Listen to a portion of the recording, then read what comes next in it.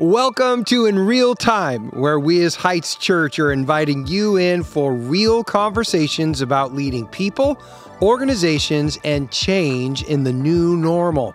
We're hoping that our real discussions about our church's journey will help you as you reimagine and rebuild yours.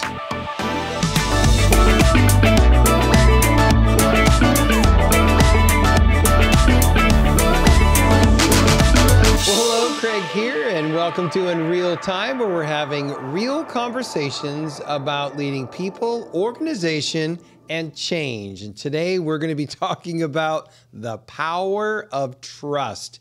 And it's literally the fuel that drives your team leadership. So we're going to dive into that in a minute, but I've got two co hosts with me, so I'm going to let them introduce themselves. I'm Jen Yarbrough, one of our associate pastors here, serving in administration and restoration ministries. Ooh, restoration. Yay. It's my friend Tim. So it's, my fr- it's my friend Tim. inside joke. It's an inside joke. and I We're all Tim. lost at this I, point, I but okay, that, that's good. yeah, I'm also an associate pastor here. I oversee the online campus. I'm a teaching pastor and the men's pastor. So good. So good. Well, I'm glad you guys are here with me. And today we're going to be extending our conversation from last week because we felt like there was a little bit more we wanted to talk about in regards to the time off that I'm going to be taking this yep. summer. Now, I'm not gloating to tell you that I'm taking some time off this summer again. I'm not gloating. like it but there is something that we thought was very important here that we didn't get to talk about last time. So I'm going to be taking off about six weeks here this summer, but just five weekends I'll be away. And the the ability for me to do that is really predicated on a, a, couple of things. And we talked last time about the yeah. preparation that right. takes place. And so that was important. Yes. This time I want to talk about the power of trust, which was a, a real key component. And it's involved in the idea of preparation, but it even goes beyond that.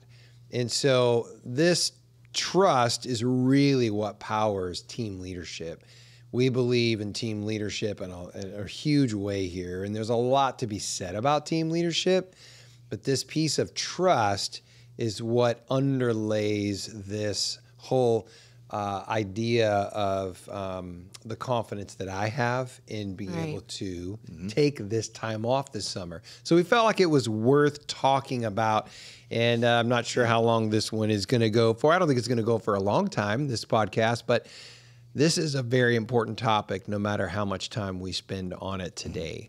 So, the first thing I want to say about this is that I can go away and trust because I know that my team, all of you, and you guys are two of uh, a larger team, I know that I um, I can trust you because you're people of character. Mm. You're people of character because I've been with you we have been in the battles together. Hmm. Yeah. And I know that that we want the same things. Right. And that we we've been in the race together for long enough that I know I can trust your heart, your character in these things. You may not do everything exactly the way I would do it, but I don't need that because there's more than one way things can be done. Mm-hmm. And I I know that your character will lead you in that way because that's the real that's the real thing. The I love Proverbs says the integrity of the upright will lead them. What that means is the good character of that person will lead them to the right answer. Mm. And I know that's true about you guys. And so it's important that we recognize trust has been built. Yeah. And um, I got a question for you guys though, because there's there's trust. It goes both ways for sure. Mm-hmm. Because uh, sometimes people have handed me things, and I thought uh, I don't want this. yeah, I, yeah. I don't trust that. In fact, I have I have said no to opportunities because I literally uh, I said no to to some really big things because I knew that the people who wanted to give it to me, I didn't trust that they had prepared me well for it. In fact, mm-hmm. I knew that they didn't. Mm-hmm uh, they were doing it because they wanted out. They weren't doing it because they knew I could okay. handle it. Mm. In fact, I was pretty sure I would fail. I had a mm. strong enough assessment of myself to know mm. I'm not ready for this. Uh, the motive behind this is not good. Right. And so um, I said no to it. What have I done that has given you guys confidence that you know it's going to be great while I'm gone? Yeah, I know. Immediately, I just think of our weekly staff meeting. And what you do is you don't make the big decisions and process the the things that really are taking a lot of prayer and discussion. You don't do that away on your own. Mm-hmm. You bring those to the meetings and then we get to discuss it as a team. But as you do that, you are sharing your thought with us, your perspective, hmm. your priority, your heart. And that brings us to an understanding okay, now I'm learning how Craig thinks. Now I know what Craig's heart is. Mm-hmm. Now I know what his priorities are. And so when you're off, I need to lean into that same way of behaving and thinking. Yeah. So it makes it a, a place of confidence, really. Yep. And even between us, if something comes up and, and you're gone, we pull ourselves together and just figure out, okay, what would Craig do right now? And we can, Yep. most times, Yeah. figure it out and Yep. make a good, solid decision. Yep. Yeah. Because of that. I agree. You've invited us into a process, and uh, we get to walk through this process. And along the way, you're sharing your hearts, uh, your heart on the matter, what you believe God would have you do. But then you leave room for our own personalities, our own thoughts and ideas, and we we get to put them all out there. And I love how we get to, um, as this cohesive team, come to an understanding. And over time, what that has done is sets sets our culture. Mm-hmm. So our culture is, can can dictate our behavior, not my nature. Yeah. because my nature doesn't always line up with our culture. so that's what's it's been a huge Yeah. help. Yeah. and that's allowed me to grow in in my own life too, Yeah. Mm-hmm. Yeah. Mm-hmm. because I believe in our culture. It's good. Yeah, we've That's seen good. it work over time. It's just mm-hmm. awesome. It's really Yeah. special. And we want to fight for it, even I think, and guard Absolutely. it. Yes. And we Sacrifice don't want for it it. to start tweaking off one way on the side. So Yeah. That's right. That's Yeah, right. because we do say do. when things happen, we have said, yeah, we don't we don't respond that way. That's not how we do things. That's- and I and I hear the great part is there's power in the we. That's, oh. yeah, I just was thinking good. that you've done two things there. You've mm-hmm. created ownership now, Yeah, mm-hmm. yeah, that's true. Mm-hmm. but you've also built trust Yes. between us. That's right. Yeah, Yeah. and in that we can then move with confidence. Mm-hmm. We're not like, ooh, no, we move with confidence. We've worked together as a team, and we've made that decision, and here we go. Here we go. Mm-hmm. Yeah, I love good. too. There's this sense that we've got each other's backs too, and and we really can discuss things with each other, and just be real. Yeah. Say, well, this is what I'm thinking, but mm-hmm. what do you think I should do? And Right. Yeah.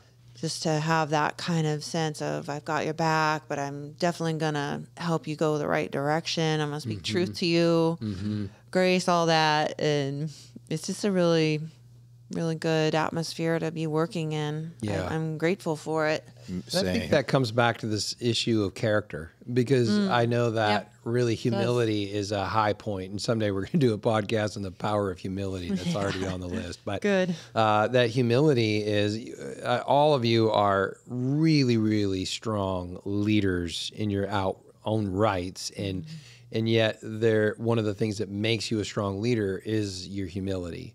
Uh, our whole team has this component this of their character and it's one of our strengths because there is a humility which means we can listen to others and we can get better. We all just want to get better. Yeah. instead of i know i want to be Yes. right. Well no, that's different. Great point. no no i don't want to be right i want to make it better. This last sunday after first service i don't want to be right. I want that sermon to be better because i got another message coming and i want it to be even better. That's right. and so you guys give me good feedback there and we made some a, a tweak or two and i Yeah. think it, it was better hmm. because of that. And it's directly from you miss jen i know that i had a really good comment from you.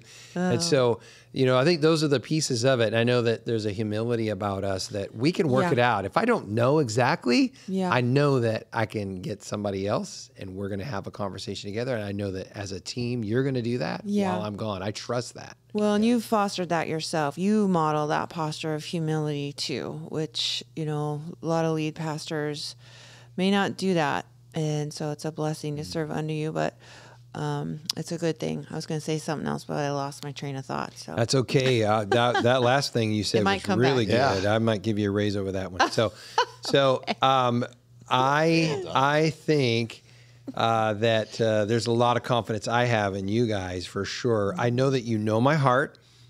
I know that whenever you approach a problem, you're going to want to resolve it um, as close to what I would like, which is according to our culture. I don't need you to be mini Craigs. I just mm-hmm. need us to operate within our culture, and that that is good enough because I love our culture. I think our culture highlights the right mm-hmm. things. Yeah. But let's just be really specific. I know that while I'm gone, if a conflict arises, Yeah. then what I know is that you know the goal is resolve. Resolve. yeah, It's not to tee off and to say, "Oh man, this is what I came back with." Mm-hmm.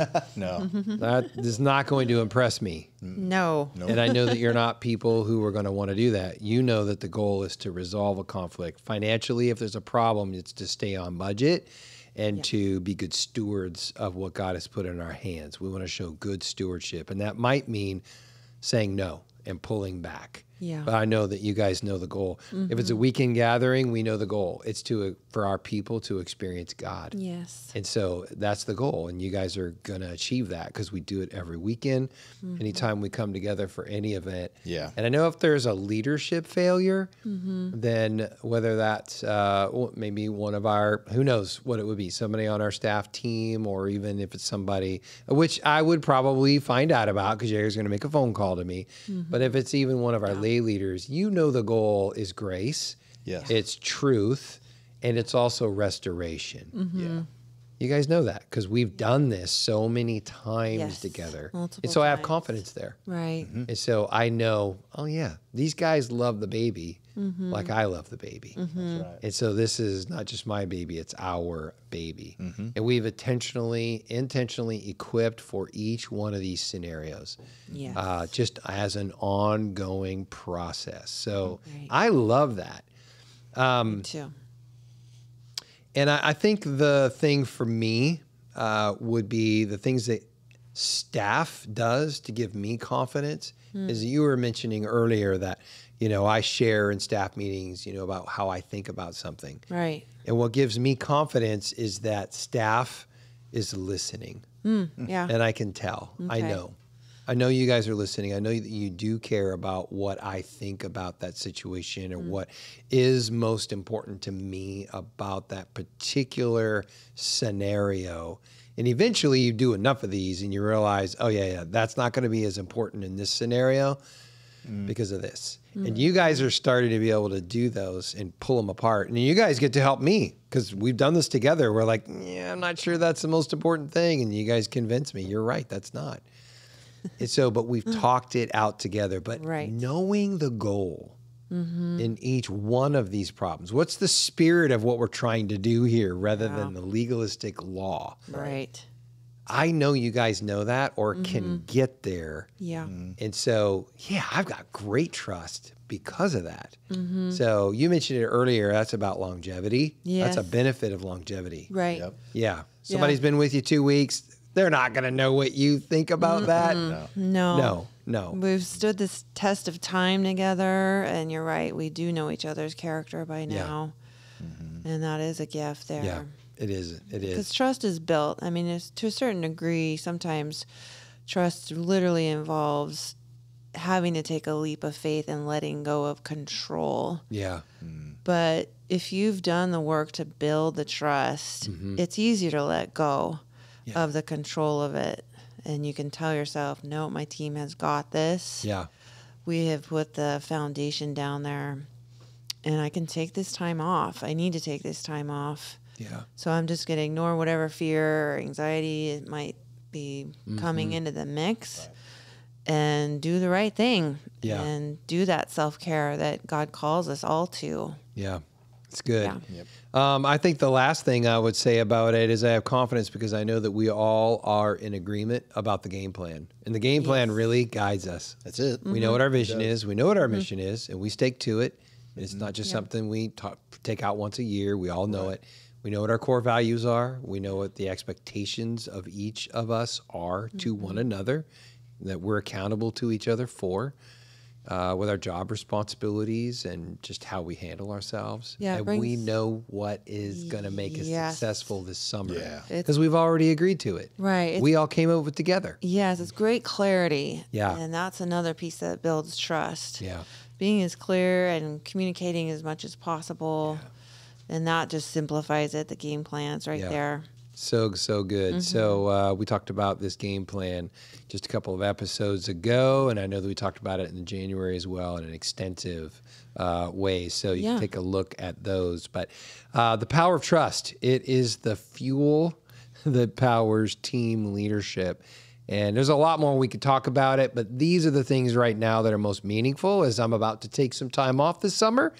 And uh, well, one of those things is I'm trusting that this staff team is going to do some amazing work on the podcast for a couple of episodes as you guys do a staff takeover. Ooh, and uh, I understand it's going to be a lot of Pastor fun. Ryan's Yeah. got some Unique and good creative. ideas up his sleeve. Yeah. So uh, I'm looking forward to uh, tuning into those. But uh, anyway, anything else we need to say about this one? Nope. I don't think so. Okay. No. Good. Well, thanks for joining me for a real conversation about leading people, organization, and change. And if you like this episode, which I know you did because it was really helpful and really good, they said a lot of really good things. Uh, please hit the like, subscribe, and the bell notification. Share this with a friend, somebody that you believe it would be helpful to, and help us get the word out about in real time because we're here to be a great encouragement to the local church. So uh, we thank you for being with us today, and we look forward to seeing you again next time in real time.